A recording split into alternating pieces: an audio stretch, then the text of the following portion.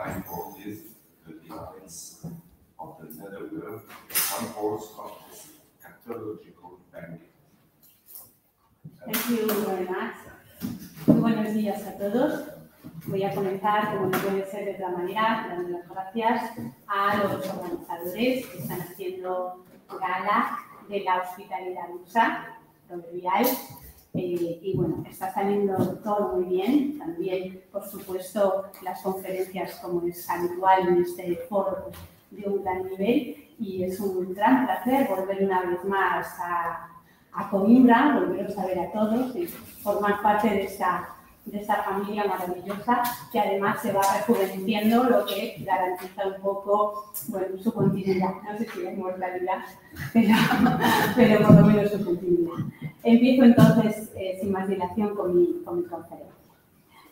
En el tratado que compara las vidas de Simón y Lúculo, Plutarco eh, ensalza al estratego Simón, que murió juiciosamente cumpliendo su función y sin celebrar festines, eugogías, ni borracheras, potus, como premio a sus hazañas. En contraposición a esta conducta, hace referencia a continuación el de, el de Queronea a un pasaje de la República de Platón, eh, en el que el filósofo ateniense ironiza sobre el premio que aguarda a los iniciados órficos en el Hades, y que no es otro que una embriaguez sempiterna.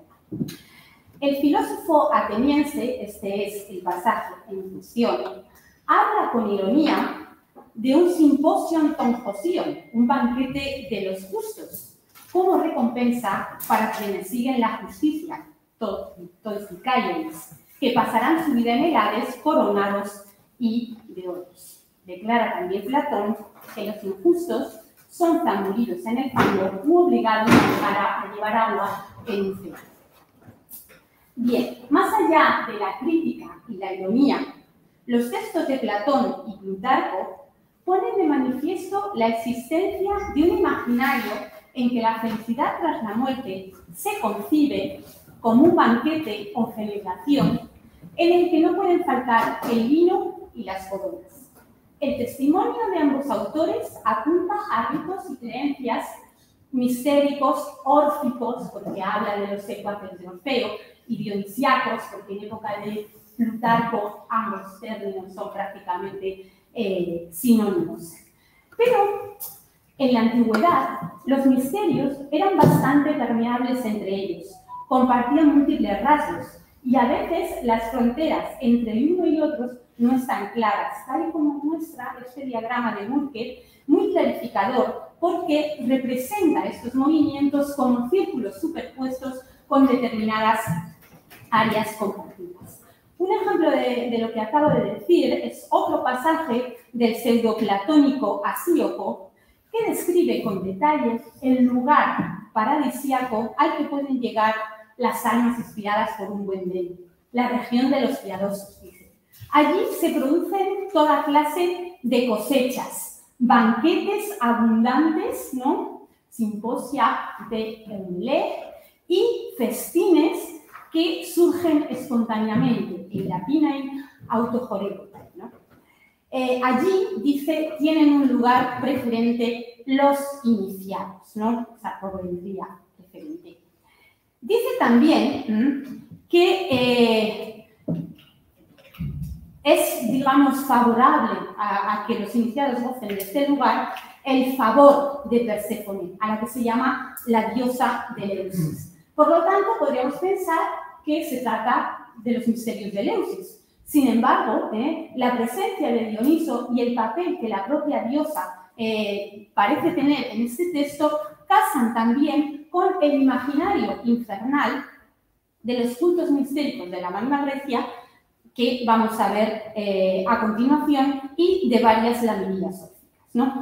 Otro ejemplo de la dificultad de escribir un testimonio a un ámbito mistérico concreto lo tenemos en la descripción que el propio Plutarco da del lugar del Hades que acoge a los iniciados tras su muerte en el fragmento 178.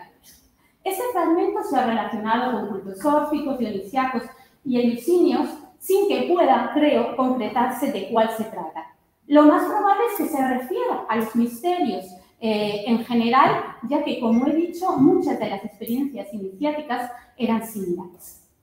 Aquí, el de Queronea presenta un lugar esplendoroso, en el que proliferan cantos, danzas, magnificencia de audiciones sacras y visiones sagradas, y donde quienes han participado en los misterios van coronados, ¿no? No hay mención del banquete, como en los otros textos, ni tampoco de la ingesta de vino, pero sí hay otros elementos que vamos a ver que son esenciales de ese banquete, como la corona y eh, como la música. Paso entonces al imaginario de la, de la Magna Grecia y de las laminillas ópticas. En un final de Locri, del segundo cuarto del siglo V a.C., Dioniso le ofrece a Perséfone un cántaro de vino y una rama de pámpanos. En las creencias órficas, Perséfone, además de la madre de Dioniso, es la reina subterránea que sanciona la entrada al Hades de los iniciados, como reflejan eh, las lamillas ósticas procedentes de Pelina. Estas están en Tesalia. Eh, eh, se encontraron en Tesalia. Allí se nos dice que al iniciado que llega al Hades se le recibe felicitándole porque acaba de morir para nacer a una nueva vida. Y por eso es Trisoldi, muy 22. Se le indica, además, ay, perdón, que debe decir a Perséfone que Baco lo ha liberado y que disfrutará del vino, y esto es lo importante, un privilegio dichoso, utilizando esa palabra, una vez que haya llegado bajo tierra. Por tanto, el disfrute del vino se concibe como un premio, como un privilegio de los iniciados frente al resto de los muertos, igual que en los textos de Platón y de Plutarco. Volviendo a Alpinas, la imagen de Dioniso ante Perséfone representa la del iniciado ante la diosa de los infiernos, porque normalmente los iniciados dionisiacos, órficos, se equiparan incluso nominalmente con su dios, son llamados Bacos. Hay incluso una teoría que dice que el nombre de Baco, dionisiaco, eh, procede del, del, de sus seguidores y textualmente es así, porque los testimonios más antiguos que tenemos se refieren a los seguidores y no, y no, y no a ellos. Bien, eh, la diosa sostiene un gallo, un animal que en contexto infernal representa el paso de la vida a la muerte y que es un intermediario entre el alma y el más allá. El vino que ofrece el dios simboliza el vino del que disfruta el iniciado en el Hades, tal como se dice expresamente en la laminita. La asociación del vino con la dicha eterna pudo forjarse eh, a partir de las connotaciones placenteras que dicha bebida tenía para los iniciados, pues su consumo, su uso, era muy habitual en, los ritos iniciáticos. De manera que el vino que el iniciado disfruta en vida es también el vino que disfruta o que espera disfrutar tras la muerte. Es verdad que eh, ni en el Pinas eh, ni en la laminilla hay una referencia explícita al banquete. Pero el tamaño del soporte es muy diminuto en el, caso de la, de la lámina, pues también puede condicionar el, mensaje. Entonces lo importante es que en los textos de Platón y Plutarco nos ayudan a encontrar un marco para estos otros, estos otros testimonios. ¿no? En cambio, otros elementos esenciales del banquete sí que están presentes, ¿no? Eh, como por ejemplo la corona, la lleva aquí eh, Dioniso y la propia Perséfone lleva una tiara, aunque bueno, esto puede ser más bien una, cosa de la, iconografía, al menos la de Perséfone eh, sin más, ¿no? Y también aparece la corona en otra laminilla eh, de Turios, estaría así en la Magna Grecia, según la cual los iniciados obtienen una corona que premia el éxito en el tránsito del Hades y simboliza el triunfo sobre la muerte, y el ciclo de reencarnaciones, razón por la cual se califica aquí en la corta como eh, venturoso y afortunado Olvie Kaimakaristi. Volveré luego sobre otros elementos de esta expresión. Bien, sin movernos del ámbito de la Magna Grecia ni de la época clásica, el ejemplo más impactante, por lo menos a nivel visual, de un banquete ultramundano aparece representado en la parte inferior del famoso sarcófago del Tufatorio, hallado en Paestum y datado en torno al 470 a.C.. Este es el sarcófago, le falta la parte que lo cierra, la, la voy a poner aquí, estaría lógicamente mirando para, para el interior, pero estoy aquí para que, para que se vea, ¿no? Bueno, vamos a empezar por el principio, que es la cobertura.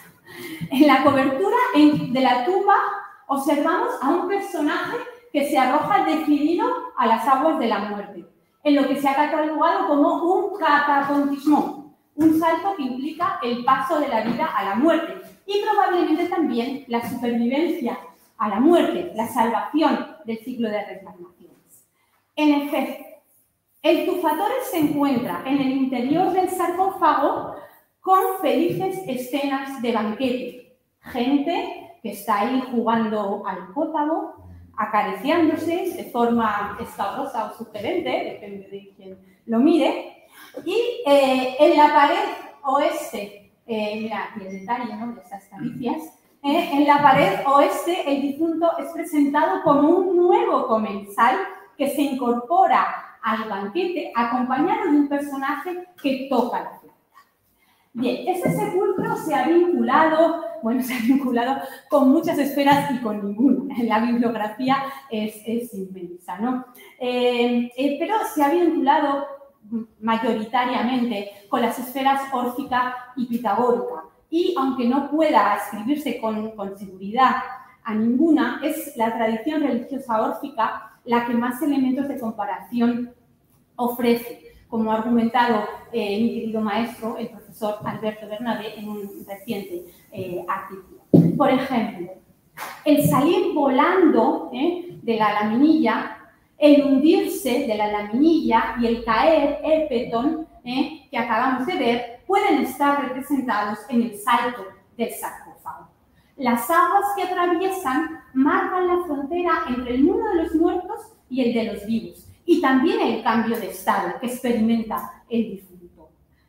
En la imagen del interior apreciamos efectivamente alguno de esos componentes esenciales de la felicidad ultraterrena, de la que disfrutan los iniciados, la compañía de otros iniciados, la música, la corona y por supuesto el vino, todo en mitad de una atmósfera de felicidad y de, de éxtasis. Bien, una cratera de vino ocupa prácticamente la pared del lado este, resaltando sobremanera la importancia de este elemento en el banquete y es clave para aproximar la imagen a la esfera órfica, porque los pitagóricos eran, eran tímidos, ¿no? El tufatore no lleva corona, es decir, el personaje que se lanza no lleva corona. Lógico, nadie se tira a la piscina con, con una corona, ¿eh? Pero, pero no solo por eso es, elemental, sino porque la corona, como dice la laminilla, es el premio ¿eh? cuando ya has llegado, ¿eh? cuando ya has vencido a la muerte en Hades. Pero sí que lleva corona, su altereo en el banquete, aquí le, le tenemos en dos momentos, cuando le introducen estos eh, personajes, ¿no? Y luego también aquí, eh, cuando ya está sentado eh, en compañía de, los demás, eh, de los otros imposiastas. Bien, vuelvo a la pared oeste, que, que me interesa poner ahora toda la imagen, porque mmm, en esta pared se ve cómo el difunto se incorpora al banquete en el más allá y va caminando hacia la derecha. Qué casualidad, que en una laminilla de Turio se dice al iniciado debe ir en dirección al tíaso. El tíaso son, sería los equivalentes, los compañeros ¿no? del banquete, hacia eh, la derecha. ¿no? Va acompañado, como digo, de un personaje que toca la flauta y se une eh, al, eh, a los simposiastas, eh, sus compañeros de este ambiente festivo. Bien, en ese sentido, estos dos elementos, la presencia de, de otros mmm, tiasotai y, y, la música, los tenemos atestiguados en otros testimonios que nos llevan de nuevo a Plutarco. ¿no? La música y la danza marcan la felicidad ultraterrena de sus miembros del grupo. Lo leíamos en el primer fragmento, el 178, y lo pueden leer también en este, eh, sobre la imposibilidad de vivir placenteramente eh, según, según Epicuro, ¿no? donde habla de pasar el tiempo en el Hades. Ay, que ha, pasado algo. ¿A dónde le doy? A la cruz de arriba a la derecha. Ah, sí. Ah, Ya está, ya está. Vale, perfecto. Eh, bien, que como decía, no, pero es que se me fue. Así. Eh, bailando en, en- en lugares con luz, aire puro y resplandor en compañía de, de otros iniciados, ¿no? Bien, y después eh, este motivo se popularizó mucho. Bueno, en realidad estos dos motivos, los compañeros de Piasso y la danza, ¿no? Y los tenemos, lo paso muy rápidamente, Mm, en varias inscripciones, cito, cito solo dos, funerarias, en las que se dice que cuando el iniciado muere, se une a su Piasso, ¿eh? forma parte de él y además danza en compañía de, ellos. Bien, mm, no me detengo eh, en esas inscripciones y paso directamente a la segunda y última parte de mi texto, que son los banquetes escatológicos en la comedia. La imagen que ilustra mm, las delicias del más allá como un banquete o celebración en el que no puede faltar el vino, la música y la danza, tuvo especial repercusión en la comedia de los siglos V y IV a.C. Un, un banquete escatológico aparece descrito en las ranas de Aristófanes, obra cuyo argumento es la catábasis de Dioniso Alades para rescatar al trágico Eurípides. Claro, Dioniso, que era listo, dice, ¿y cómo bajó tu Alades? Pues le voy a preguntar a Heracles, que había bajado ya antes ¿eh? para rescatar al perro cerbero y por tanto debe conocer muy bien los vericuetos. Tras escuchar sus consejos, Dioniso decide emprender el viaje, pero disfrazado de, eh, de Heracles, ¿no? En el pasaje que nos interesa, que es este que, que tienen aquí y otra parte que luego proyectaré, se describe la buena acogida y el agape que Perséfone le prepara a este supuesto Heracles cuando se entera de que va a regresar a Hades. Aristófanes parodia el encuentro entre la diosa y el héroe, pero curiosamente con sus protagonistas ausentes, porque ya digo que no es Heracles quien baja, sino Dioniso, ni tampoco lo recibe Perséfone, sino una criada. Y para complicar todavía más la cosa, justo cuando están ya a las puertas del Hades, eh, Dioniso, junto con su criado Jantias, deciden intercambiarse el disfraz y que sea Jantias el que llame a la puerta por lo que, por lo que pueda pasar, ¿no? Por eso aparece ahí eh, que es Jantias el que pero bueno, es Dioniso y tendría que ser eh, ¿no? Lo que nos importa es que se le recibe con mucho entusiasmo, dice, queridísimo, ¿no? Dice, píntate, píntate. Eh, se le agasaja con un suculento banquete, panes, ollas de legumbres, una vaca asada, carne de haba, tajadas de pescado, dulces varios y, por supuesto, dulcísimo vino. Muy parecido a lo que tomamos ayer, ¿verdad? Bueno, entre las viandas predominan sobre todo las carnes, ¿eh? lo que puede interpretarse como un guiño a la glotonería de Heracles, claro, ¿eh? porque después en la obra dos hospederas le dicen, pero bueno, ya estás aquí de nuevo, nos vas a vaciar las, la despensa, ¿no? Pero creo que tampoco puede descartarse, dado todo el contexto mistérico del que, al que luego voy a referirme, eh, que la, de- la elección de estas viandas carnívoras sea un, un guiño o una chanza ante el proverbial vegetarianismo de los órficos que el propio Aristófanes cita en esta obra, ¿no? Al final dice que Orfeo nos enseñó los rituales y apartarnos de derramar sangre y que bueno, no podía dejar de citar aquí a Plutarco, que también se hace eco de este vegetarianismo eh. En el banquete de ranas no faltan tampoco la flautista y las bailarinas para amenizar la velada. Son todas personajes muy habituales del simposio terreno, pero como estamos viendo, las danzas y la música están muy presentes en la configuración de este Místicos, ¿no? Y de hecho, en otros pasajes, no me voy a detener mucho, mm, de esta misma comedia se hace referencia a estas danzas ultramundanas, pero qué curioso, danzan los miembros del Tíaso y danzan con coronas, ¿no? O sea que tenemos ahí una serie de, de elementos, ¿no? Bueno, hay varios, varios, varios ejemplos, ¿no? Bien, se ha especulado mucho sobre por qué este banquete, a qué se debe este banquete, ¿no? Eh, varias respuestas son posibles y compatibles, ¿no? La buena mesa es desde luego, desde luego, una de las debilidades de Heracles, en la que se recrean los autores de comedia. Y sentar a la mesa una figura híbrida, eh, Heracles Dioniso, suponía un guiño para el espectador del siglo V a.C., porque ambas figuras aparecen con frecuencia en la iconografía de los siglos VI y V a.C., compartiendo mesa y banquete en actitud distendida como tienen, como tienen aquí. Sin descartar esta hipótesis, creo que también es posible que con este banquete Aristófanes quisiera hacerse eco del festín del que disfrutan los iniciados en el más allá, en determinados cultos místicos. ¿no? Creo que apoyarían esta hipótesis bastantes, eh, eh, varios aspectos. Primero, como ya he dicho, la acción de la obra se sitúa en el Hades eh, y se alude en otro lugar a, a un banquete ¿no? De los felices. Eh, toda la comedia está presidida eh, de un ambiente místico, aparte de los ejemplos que, que he puesto antes, pues aquí tienen otros, se habla de, de días de bienaventurados, de iniciados, etcétera, etcétera. Y lo más importante, mm, o, un apoyo importante, es que el supuesto eh, Heracles al que se agasaja, es un iniciado en los misterios de eh, Eleusis, porque cuando Heracles baja a Hades, tanto por primera como por segunda vez, es probablemente ya en el siglo V a.C., eh, eh, un iniciado en los misterios de Eleusis. ¿Y por qué? Porque eh, desde el siglo VI a.C., algunos vasos y diversas fuentes literarias, en los que ahora no puedo detenerme, indican que Heracles se habría, bajado, se habría iniciado antes de bajar a capturar a Cerbero, precisamente para afrontar con éxito eh, esa empresa, para ganarse el favor de Perseo. A la luz de estos datos, y volviendo al pasaje de las ranas, cabe sugerir, por tanto, que el supuesto Heracles llega a Hades y la diosa le recibe como a uno de los suyos, un iniciado. ¿Y qué, se le, y qué le ofrece? Pues el privilegio típico de quienes han alcanzado dicha condición, pues un banquete. Pero claro, es que Heracles no es un iniciado cualquiera, es un iniciado superlativo, porque ha llegado allí después de superar pruebas como hacen otros iniciados, pero muchas más.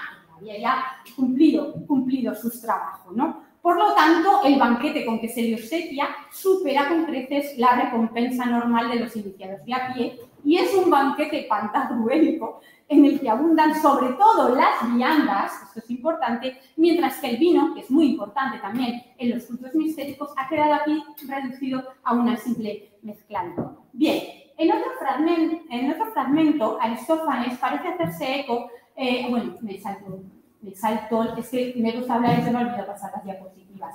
Aquí, por ejemplo, se ve eh, la iniciación de Heracles abajo y supuestamente arriba a, a ¿vale? Bien, vamos ya a este fragmento, que no, me da eh, Aristófanes parece hacerse eco de ese mismo Hades de los iniciados, pues con sutil ironía afirma que allí en el Hades es feliz, se vive mejor que en el mundo de los vivos y que los muertos disfrutan de la bebida coronados y ungidos, parodiando la conveniencia de morirse cuanto antes para beber, que los que están allí son muy felices, pues vamos a morirnos todos, ¿no?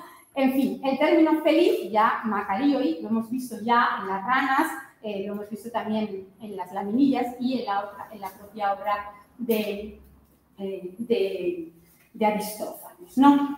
Y voy a citar muy rápidamente otros dos ejemplos de la comedia en los que no me voy a detener, pero mm, son al menos ejemplos que, que, sí, que sí he encontrado y que quería, aunque solo fuera, presentárselos.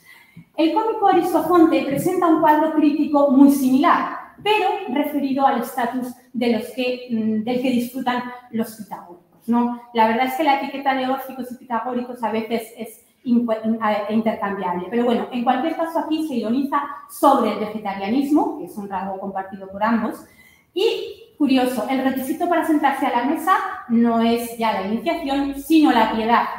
Y el vino se ha sustituido eh, por agua, ¿no? en consonancia con la condición de abstención de los pitagóricos.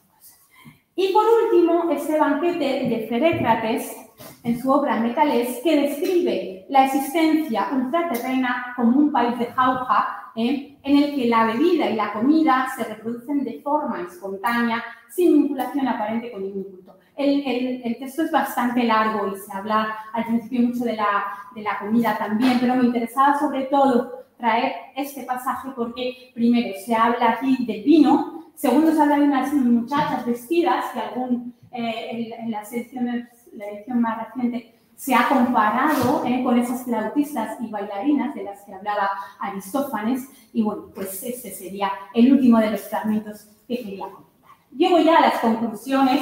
Eh, Para las que quizá no sea útil, no sé si se ve más o menos este cuadro que sintetiza un poco los motivos y los elementos esenciales. El banquete escatológico se define como tal solamente en algunos autores. ¿no? Los términos empleados, sobre los que no me he detenido, porque lógicamente habría que estudiar más a fondo en la, en la versión escrita, son simposio, negocia, el apine y el verbo sisiti. En otros testimonios, como las laminillas ópticas, no se explica o no se explicita, perdón, la denominación del evento, pero sí aparecen elementos esenciales como el vino y las coronas. El vino, si lo ven ahí, se ve muy bien, es el elemento estrella, porque aparece en todos los testimonios, salvo el Asioco y en Aristofonte, que claro, tiene sentido porque Aristofonte era el de los pitagóricos, entonces no, no lo cita, ¿no? Misma presencia tiene la corona, símbolo del triunfo sobre la muerte, y otros componentes como la danza y como la música aparecen solo ¿eh? en los testimonios más descriptivos, como los textos de Plutarco y Aristófanes y el sarcófago de Tufato. La comida, como muestra el cuadro, pues es más bien una innovación de la comedia, que encuentra en este tópico un campo abonado para la exageración. Las viandas están ausentes en la tradición filosófica y religiosa, salvo en el caso de la Sioco, porque esa descripción de la Sioco se aviene bien con esta imagen del país de Jauja eh, que, citaba, eh, que citaba en el último texto, el del cómico, cómico Felipe. Bien, para disfrutar del banquete escatológico es condicio sine qua non pertenecer a un grupo particular, que en algunas formulaciones, como la del propio Plutarco, se define como tiaso, también tiasotas, ¿no? Ah, dice Aristófanes. Desde una perspectiva religiosa, que es la predominante en los textos analizados, la pertenencia a este grupo implica estar iniciado. Los testimonios de Platón y Plutarco apuntan a cultos mistéricos, pero, como ya he dicho, en la antigüedad los misterios compartían múltiples rasgos y creo que los testimonios analizados muestran que el banquete escatológico es una de esas áreas compartidas por distintos cultos. ¿no? La terminología para referirse a los iniciados es muy rica y variada, tampoco he andado en ello, pero bueno, encontramos los términos meniemenoi, mistai y ¿vale? Eh, pero, curiosamente, en el texto de la República Platónica, sobre el que se cimenta eh, la intervención de Plutarco y también de charla, el filósofo ateniense no utiliza este término, sino que habla de dicaioi, los justos. ¿Eh? Platón conoce perfectamente la terminología mistérica, la usa en su escatología y en muchos otros lugares emplea esos términos para referirse a los iniciados. Si en este pasaje preciso utiliza la denominación dicaioi es porque quiere lanzar sus críticas sobre la misma concepción de la justicia órfica, que está relacionada con la pureza ritual y la práctica religiosa que marca la iniciación. Esa concepción, la órfica, equipara a los iniciados con los justos y a los no iniciados con los injustos y choca claramente con la concepción ética de la justicia de Platón, de Plutarco y a la postre la nuestra, donde los justos son los buenos y los injustos son los malos. ¿no? Eh, Platón no puede tolerar que los rituales sirvan para hacer frente a los castigos del Hades y acuña la hipérbole de la borrachera eterna, mece aionius, retomada por Plutarco para poner de manifiesto la subidad, en su opinión, de estas prácticas rituales y de la recompensa prometida a los iniciados. Una recompensa fantástica. Muchas gracias.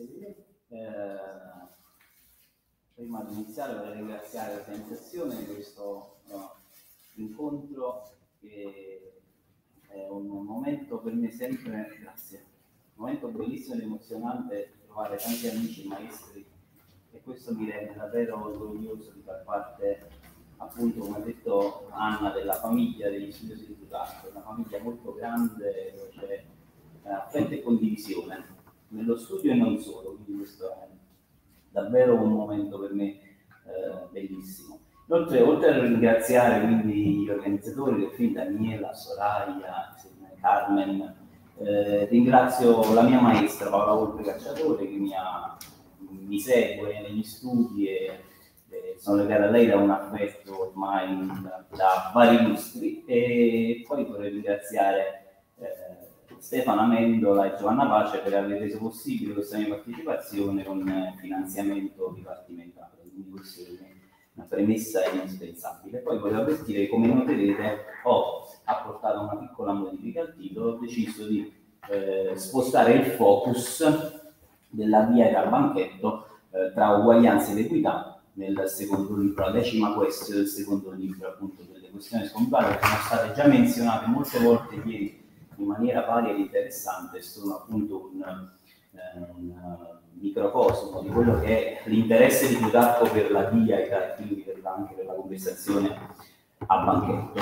Quindi inizio parlerò in italiano e inoltre proietterò, il, cioè sto proiettando il testo in maniera tale che potete seguire, eh, se farò qualche riferimento in nota, poi troverete tutto negli atti comunque, però dovrei, provo a proiettarvi anche le note mentre sto parlando se faccio qualche riferimento.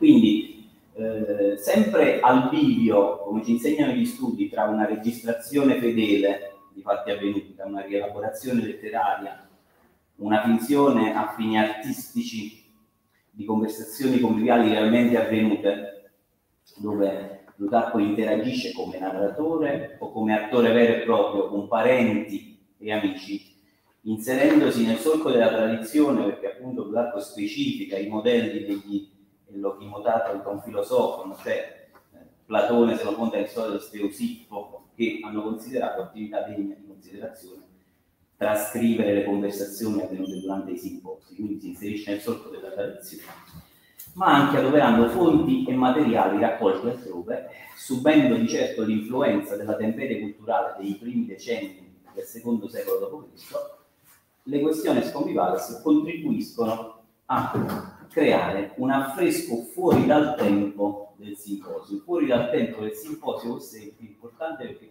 come ha ricordato ieri del film Leao, eh, anche il simposio dei sette sapienti, che è stato composto un po' prima delle questioni conviviali, crea un simposio fuori dal tempo e che è stato definito anche astorico perché eh, si ritrovano a tavola personaggi di epoche differenti, che studiano epoche differenti. Quindi crea un quadro fuori dal tempo del simposio come eh, momento clou della vita sociale greco-romana. A tale proposito eh, vorrei ricordare il volume molto interessante che è stato edito da Caterina Economopoulou, The Philosopher Bank, Plutarch's Table Talk in the Intellectual Culture of the Roman Empire, dove a tal proposito Frances Kitchener ha proposto di vedere le questioni sconvivali proprio come eh, lens through which to view the social and political realities for Greek and Roman citizens of the empire.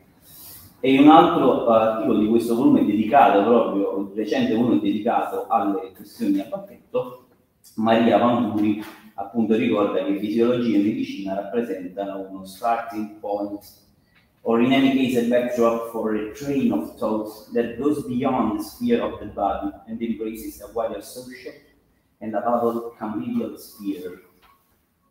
Quindi discutendo di banchetto e durante il banchetto, le questioni conviviali sono uno degli opuscoli dei morali, a dove i riferimenti alla diaida risultano in numero maggiore. Ci sono tanti riferimenti alla diaida nelle questioni conviviali, in particolare eh, mi piace ricordare un riferimento alla dieta che si ritrova nella questione seconda del secondo libro, all'interno del quale la dieta potrebbe sembrare un possibile strumento di suddivisione tematica delle schede o degli appunti plutarchici della composizione di Moralia. Cosa succede in questa parte del secondo libro? Che dopo aver sostenuto che l'atteggiamento nei confronti dei difetti fisici dipende dal carattere della singola persona, per cui ognuno si affligge per un difetto diverso.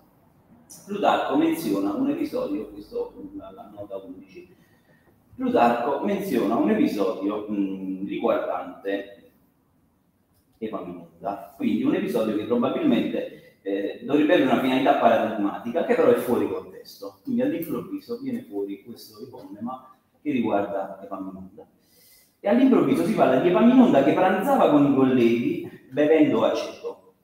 E ai commensali che gli chiedevano se fosse un toccasana per la sua salute disse non lo so, ma so di certo che è buono per ricordarmi il modo in cui vivo per la dieta a casa mia.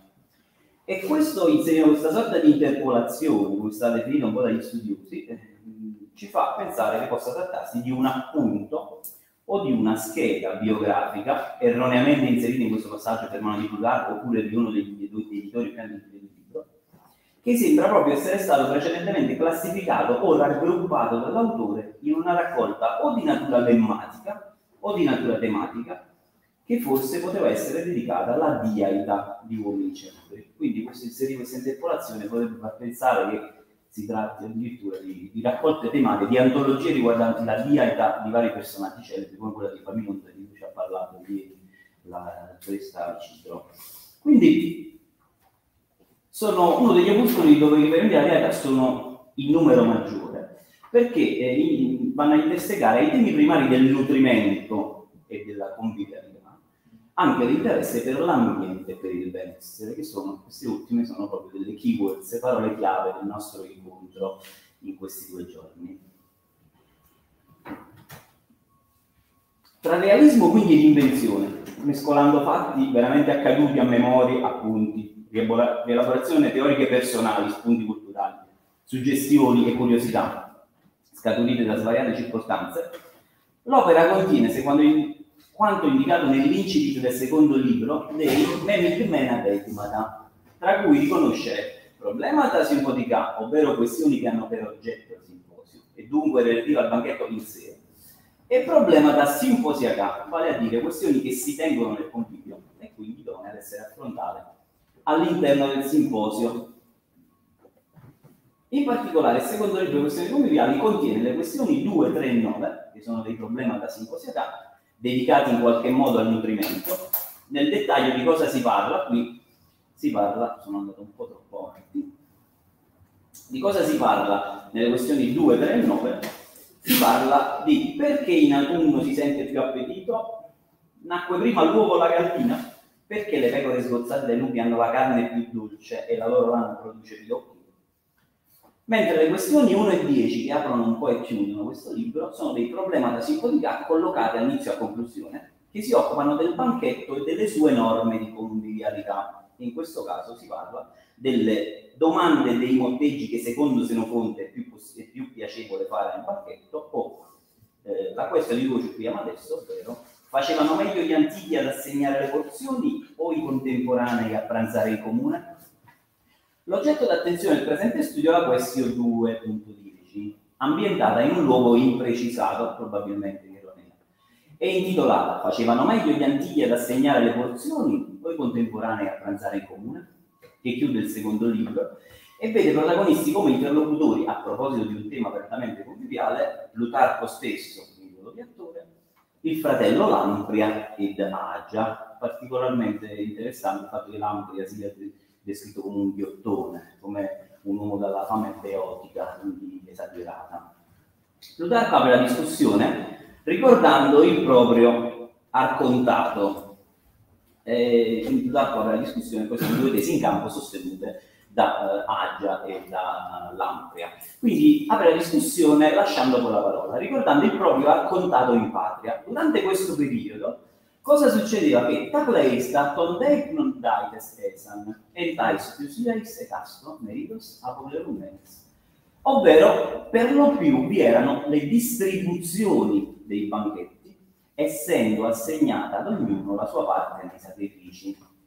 La descrizione riferisce in termini generali di piuttosto frequenti operazioni di spartizione delle vivande nei banchetti che avvenivano appunto da pleista. quindi non erano permanenti ma avvenivano nella maggior parte dei casi. Quindi abbiamo queste operazioni di spartizione derivante dai banchetti a conseguenza del fatto che ogni partecipante durante i sacrifici pubblici riceveva la porzione che gli era attribuita dal totale di cibo a disposizione. Quindi usate il termine proprio apoplero, che significa proprio assigned by lot, come ci insegna il leader Scott Jones. E in più il costrutto del genitivo indica una subordinazione dell'inciso con una sfumatura causale temporale che indica quindi una conseguenzialità tra la distribuzione dei sacrifici e le spartizioni. Questa usanza era guardata con meraviglia da alcuni, taumastos, ma criticata da altri, os apoinoteton kai aneleuteron, in quanto abitudine servile e deteriore per la condivisione di gruppo. Ripartire il cibo tra i commensali in parti uguali significava consumare il proprio pasto separatamente ed in maniera individuale, rinunciando in qualche modo al senso di comunità e all'atmosfera unitaria creata dai sacrifici pubblici. In particolare poi vi erano anche delle regole che prevedevano addirittura la pesatura della parte individuale da consumare, quindi era proprio un assoluto. I critici invece ritenevano più opportuno che, una volta deposta la corona dal sacrificante, purtroppo dico così, epiten sionete diaitan autis metamorfosai tas trapezas, ovvero ritenevano che bisognasse disporre di nuovo differentemente le mense allo stile di vita abituale di ognuno dei partecipanti al convivio, quindi secondo la diarità di ognuno dei partecipanti. Quindi questa deplorata trasformazione del convivio comunitario in un pasto individuale passava per l'utilizzo della trapeza, che era una sorta di vassoio su cui di solito gli inservienti conferivano il cibo ai commensali e che era di frequente poggiato sui tripodi. Nel tempo poi si è passata ad una identificazione proprio della trapeza e del tripode, proprio perché eh, erano serviti insieme. I quali tripodi quindi fungevano mh, da sostegno una simile organizzazione probabilmente tendeva a razionalizzare gli sprechi, quindi ad evitare cozzoviglie all'insegna di una più generale compostezza. I detrattori tale scelta organizzativa, invece, preferivano che i, vasso- i singoli vassoi diventassero grandi tavolate, così che, almeno in primo luogo, si potesse conformare la disponibilità di cibi e bevande alla dieta, cioè al modo di vivere e mangiare abituale di ogni singolo invitato ed in secondo luogo in modo che la condivisione potesse dar luogo a canti, danze, giochi e perché no, anche eccessi di gruppo.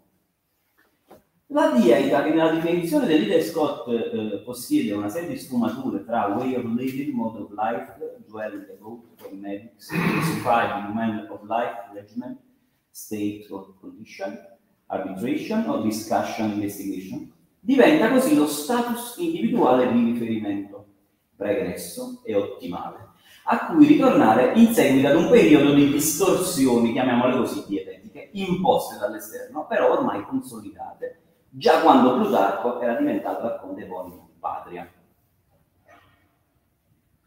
A proposito della dieta nel passaggio in oggetto, la prima versione latina delle questioni sconvivali stata opera del, del, dello studioso olandese Adrianus Junius, traduceva. Qui è interessante vedere anche poi la traduzione di Diaita nel corso dei secoli, dello stesso passaggio, che non è assolutamente concorde, in quanto appunto è un vocabolo che, eh, possedendo una sorta di polisemia, ha consentito ai traduttori di, diciamo, di tradurre in maniera piuttosto interpretativa.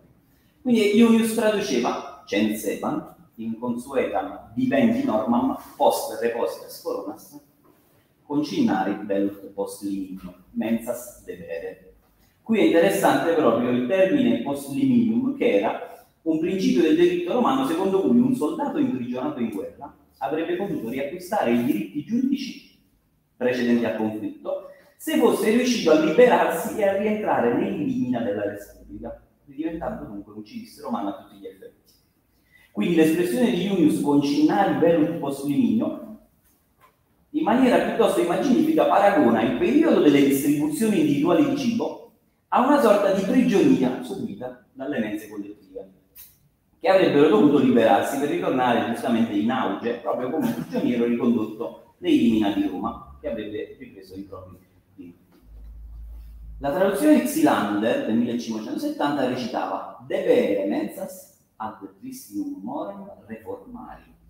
La versione gallica di Amiot rendeva con il fossi remettere le table agli storici e alla accostumée. Quindi Crucerius latinizzò così il passaggio mensas revantur mox posica corona ad consuetam vivendi razionem reducendas. Adriani, la cui traduzione di, diciamo, prima metà del XV secolo, tra il XV e XVI, ha perso la pubblicata poi nel 1807, volgarizzò con riaccomodare le tavole secondo la maniera usata. La traduzione francese di Ricard rendeva con il fallait servir le table selon l'ancien coutume. Seguita poi da Betulot che per la scelta la ripropose senza alcuna modifica, il fallait servir le table selon l'ancien coutume. Poi la traduzione inglese di Critch recitava The manner of entertainments ought to be reformed. Poi Clement per la Lib Classical rese con And thought the dinners ought to be restored again to the customary style. Garcia, per la collezione Gredos, ha tradotto Había que cambiar las mesas de nuevo al sistema abitual. Cagliazza per il corpus Plutarchi Moralium ha tradotto bisognava adattare di nuovo le mense al regime di vita abituale. Qui a mense diciamo, potrebbe essere anche bassoni, per cui si parlava di bassoni, simboli individuali. E infine l'ultima diciamo, edizione integrale dei morali, quella divulgativa di eh, Lelli Pisani, ha reso con bisognava sistemare le mense secondo il modo consueto, un po' più generica. Qui nel corso dei secoli gli interpreti del passo hanno inteso il significato di dieta secondo una serie di sfumature. Il termine è stato tradotto come norma vivendi, da Ius, razio vivendi, da Crucerius, conferendo al significato una sorta di prospettiva etica, è stato interpretato in riferimento alla tradizione del passato con mos da Xilander e usage e façon da Mio. È stato inteso più genericamente come maniera da Adriani, coutume, Riccardo, manner, e modo. Le traduzioni realizzate fino al XIX secolo pro probabilmente non soddisfecero gli studiosi alle prese con il presente passaggio, tanto che in seguito Diaga è stato tradotto in modo più intensivo style e sistema per la Gregos e per la Lega, fino alla resa regime di vita, una delle più recenti di Cagliazza, che in qualche modo rintende riallacciarsi alle suggestioni filosofiche contenute nelle versioni latine del eh, XV, ah, si è invertito il numero, no, XVI secolo. Ad essere, certamente esclusa è la, ad essere certamente esclusa è la definizione di dieta in senso geografico, quale dimora che avrebbe potuto indicare forse un ritorno all'abituale condivisione tipica dei passi in famiglia. Inoltre, l'accessione del lemma per i traduttori si avvicina senza coinciderli ai concetti di nutrimento e di convivialità abituale, lasciando sottinteso l'obiettivo finale del benessere e soffermandosi più che altro sulla maniera che consente di raggiungerlo mediante il ritorno ad una condizione pregressa di approccio al pasto. Poi Plutarco, con la moderazione e temperanza contro il sacerdote, lascia la parola ad Agia, che era favorevole al consumo di pasti conviviali, che elogia la gioia dello stare in compagnia, della conversazione, del canto, l'ascolto di flauti e appunto di allegria, dramma e godimento. Alla più completa soddisfazione del ventre e dei sensi in generale, Agia oppone la polverizzazione del banchetto e della convivialità, che si risolve in una partizione che sembra portare piuttosto alla pesatura della carne nella bottega che rischia di attribuire porzioni uguali a persone disuguali, mettendo in guardia dall'adoperare una misura pubblica senza adeguarla allo stomaco di ogni convitato in maniera soddisfacente. Quindi Agia dice, certo, non dobbiamo suddividere come si fa dal macellaio. Inoltre, la misura che utilizziamo per pesare la carne è unica, però poi gli stomaci sono diversi.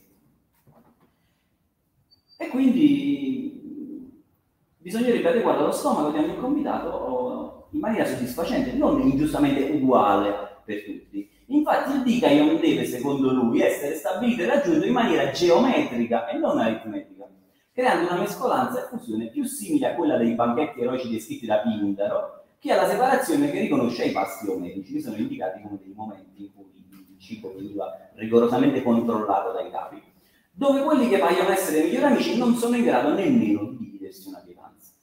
Dunque la tesi di Argia, supportata da riferimenti matematici, ma anche riferimenti al mito, perché poi si parla anche del, parla anche del mito di, eh, di Oreste con i demofonti che fu costretto a mangiare da sopra.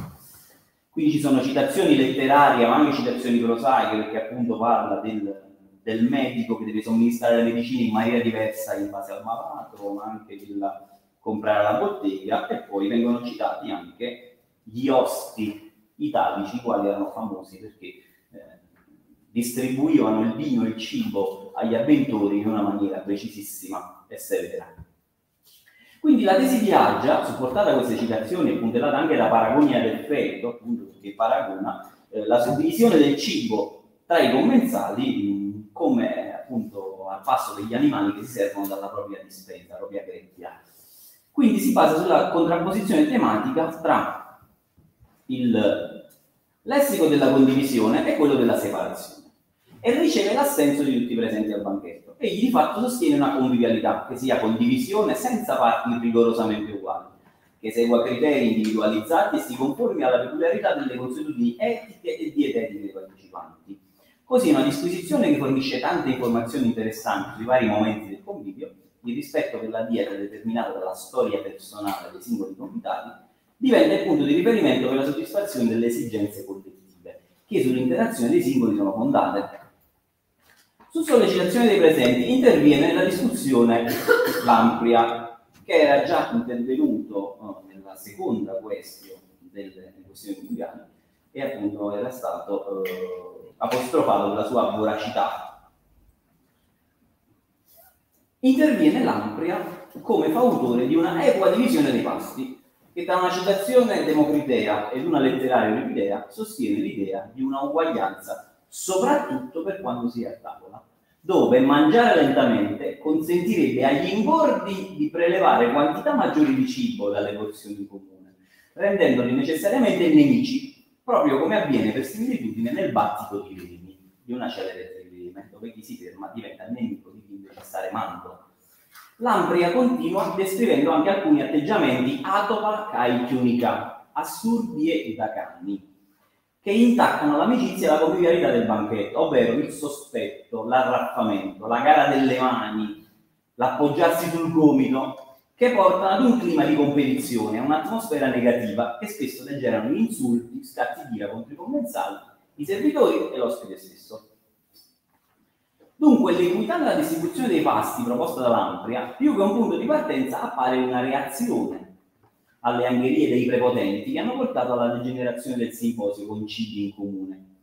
A sostegno della propria tesi cita l'esempio mitico delle parche, che presiedevano all'uguaglianza delle porzioni e alla comunione in pranzi e conviti, evitando bassezze e sconvenienze, e coniando il lessico della divisione e della distribuzione, e offre il paradigma storico Lacetemone città celebre per la fruizione dei pasti in comune come i Sissizi, dove solo gli uomini più prestigiosi come Lisandro furono preposti alla distribuzione delle carni.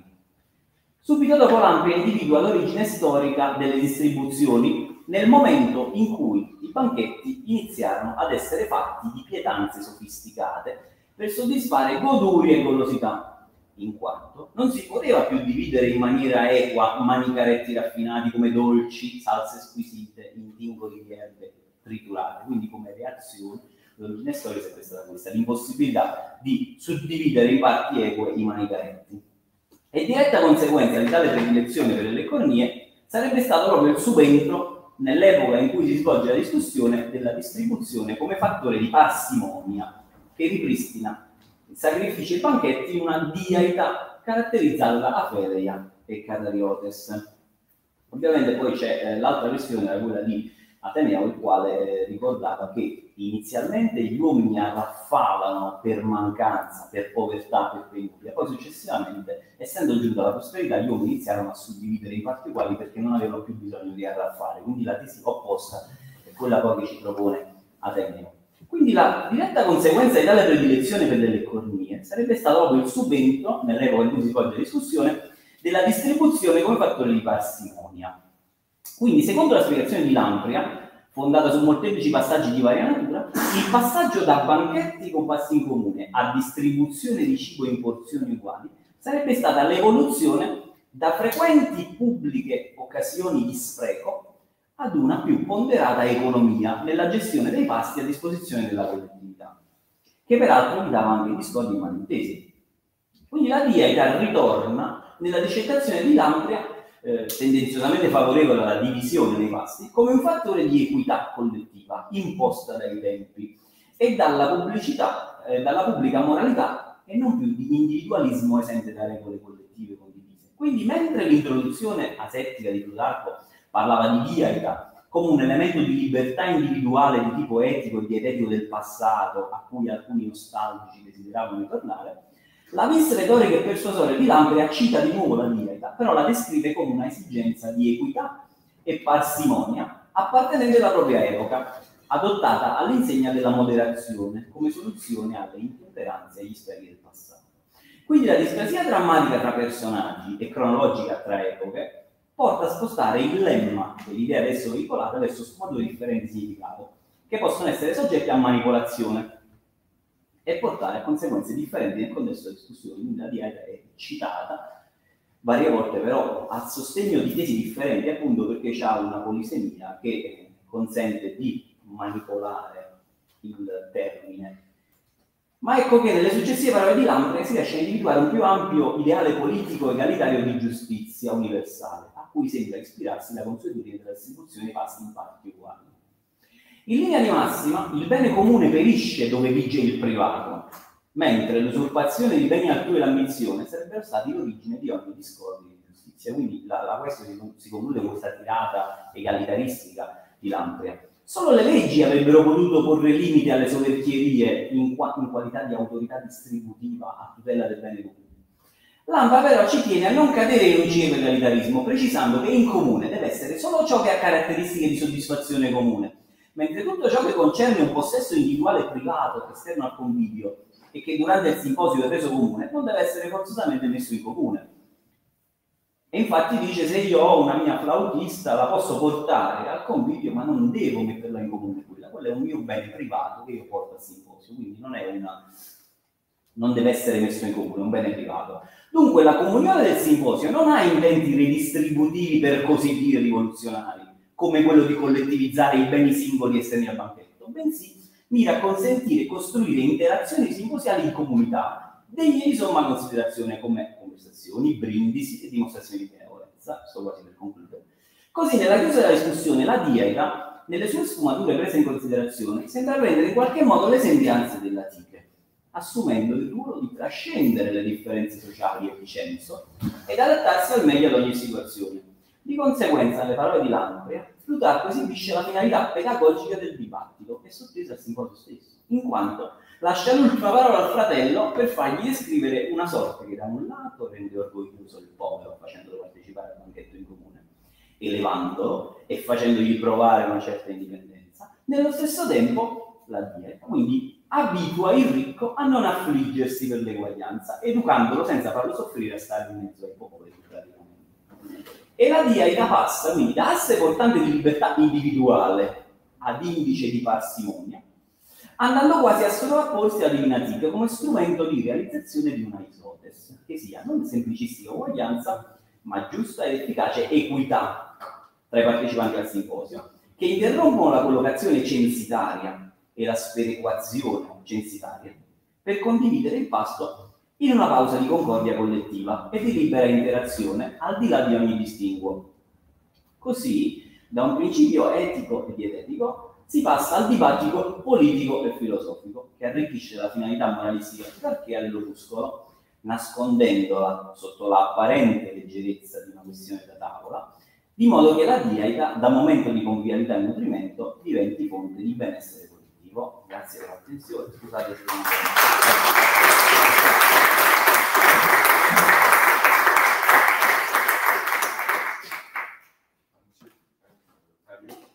So we have uh, a few minutes for the questions.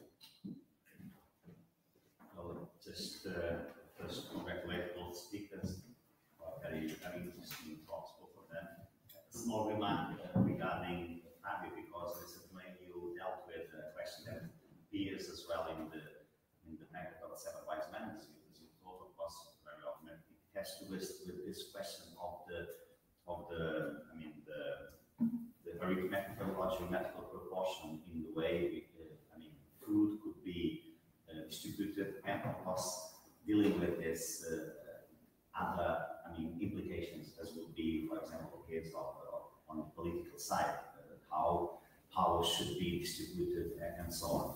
Um, this is this this question is also simply I mean is highlighted in the bank that it is not developed. I mean it is uh, developed by Solon and or approached by Solon and uh, Cleodorus in their debate, but they don't uh, they don't uh, I mean go into much debate.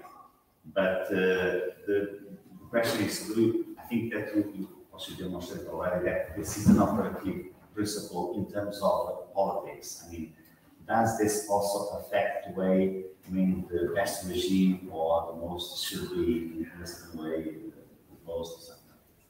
Uh, thank for uh, thank for your uh, question. The um, the discussion uh, in this question starts with two that talks about his political experience as a Conte point. Then, um, as you have uh, heard, um, there is a passage in something that is uh, different from the symposium when it talks about the where there is the private, the public dies, and other kind of uh, assertions that uh, let us uh, move to another another level of discussion that is not uh, uh, mainly political. I didn't mean to, uh, say that it's a political level of discussion, but uh, the polysemia of the word uh, let the speakers use it uh, as a different instrument for their demonstration. So there is the idea that is a moment of remembering the past. And then there is the idea that is my life uh, regime uh, my way of uh, eating uh, when I am at home. And then in final part, uh, the discussion becomes a pedagogical discussion. And then they talk about the private the public, not about politics, about rulers. There is no reference uh, about rulers, but only about uh, politics uh, as a final uh, pedagogic uh, closing of the question. That was the, the meaning of the discussion. It's not uh, Aja against versus uh, Lamprias, but there is the discussion, and then Lamprias finishes, ends the discussion with this kind of uh, excursus, political, little political excursus on the public-private distribution and uh, single. That's- Another, maybe. Y para Ana Isabel, me ha encantado tu eh. Quería solamente eh, eh, plantearte una, duda que me surgió cuando hablabas de, las, de la tumba eh, de tu factore, eh, que se conserva en Pestu. Has dicho que Alberto Bernabé ha mostrado, en tu opinión, con, con bastante verosimilitud, el contexto, digamos, órfico, ¿no? en el que encajan más o menos todas las piezas. ¿Cuáles serían las alternativas que se manejan en este asunto? ¿Pitagóricos o de otro tipo? Simplemente. Gracias por, por su pregunta. Eh, efectivamente, eh, Tufagorel tiene una historia eh, bastante larga y las interpretaciones van desde quienes, vamos, básicamente quienes consideran que es, eh, no- yo no he leído toda la bibliografía, he leído solo la parte, pero resumen, que consideran que aquí es un documento que muestra unas creencias religiosas y quienes no. Dentro de esas creencias religiosas estaría el incluso bueno, podríamos eh, meter ahí también a los porque aquí lo de las creencias religiosas es un poco más eh, discutibles. Y luego hay gente que simplemente piensa que esto, por ejemplo, es eh, un, el adorno, sin más, de una persona que decide eh, pues, adornar su tumba de esta manera, sin que necesariamente esté unido a creencias. Pues aquí lo que se está representando es el santo, el santo de su trampolín. Y claro, que lo donde sea el trampolín, ¿qué otros ejemplos hay? Este es que sepamos el único ejemplo del trampolín eh, en época antigua, porque creo que no hay otros, hay otros ejemplos. Posso permettere, dice il volume, l'ultimo volume di Meriani Esatto, è, è questo volume di che Meriani. parla proprio di quello che Sì, è un volume enorme, importantissimo, soprattutto per il tuffatore, con le ultime evidenze degli scavi dell'ultimo direttore Zuccherichel, che ha parlato appunto della famiglia di origine del tuffatore, che era una famiglia aristocratica. E in più ci sarebbe, si tenderebbe a credere, secondo quello che è un po' il- degli studi, che eh, si trattava di una, di una sorta di officina locale al cui interno vi erano eh, erano le icone degli artigiani che proponevano questo, ma anche altri beni. Infatti, se vedi la, non so, la- uno degli argomenti portati è stata la cornice della tomba. C'è anche un'altra tomba nella stessa necropoli con quella cornice. E in più c'è il famoso catapontismos etrusco. Hai visto l'immagine? Ce n'è un'altra, una tomba etrusca che è uguale, però a quella lì non sono state date diciamo, delle valenze diciamo, ultraterrene. Quindi c'è anche chi dice il momento atletico era un atleta, magari gareggiava per dire, cioè ci sono vari. Però in quel volume trovate tutte le risposte ad ogni domanda perché un volume ci sono una immensa. C'è l'articolo di Bernabé, Sì. bellissimo. Creo que tampoco deben ser todas estas interpretaciones muchas veces compatibles, ¿no? Pero bueno, lo que se acaba de apuntar Alberto, y que yo he tratado también de integrar esto mismo dentro del contexto de los banquetes escatológicos, es que esto tiene lugar en la Grecia y hay un ambiente de creencias históricas de las que no se puede, eh, digamos, prescribir para entender esto. Entonces, es decir, que no hay aquí una creencia religiosa y que esto eh, si hubiera aparecido, eh, no sé. Però ad esempio c'è il passo del Desera dove Vespesio resuscitato mm, racconta, eh, che lì si parla di tuffo. Quando racconta la sua esperienza di premorte, parla di un tuffo. sì. C'è l'articolo di Ampolo che ne parla, e quindi anche lì stato chi ha pensato che ci potesse essere un'interpretazione del tuffatore secondo quanto detto da Vespesio nel Desera. Quindi, Una questione molto... Interesante. Gracias. So, can we have a coffee break now? Yes, just, uh, well, that's, that's.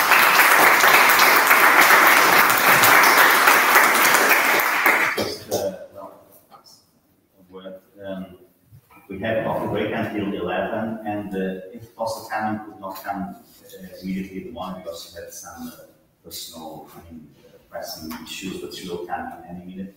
And she asked us if we could make a photo in front of the Institute of Historic Classics, but if she does not come, uh, I mean, meanwhile, we will, have of a later to include her. And of course, uh, when we go out for lunch, uh, it's time to do the usual family photo, so we'll make perhaps several, depends on, on front of, of the, of the, of the faculty, and perhaps near the, the Joanna Library, but we will provide instructions. Thank you.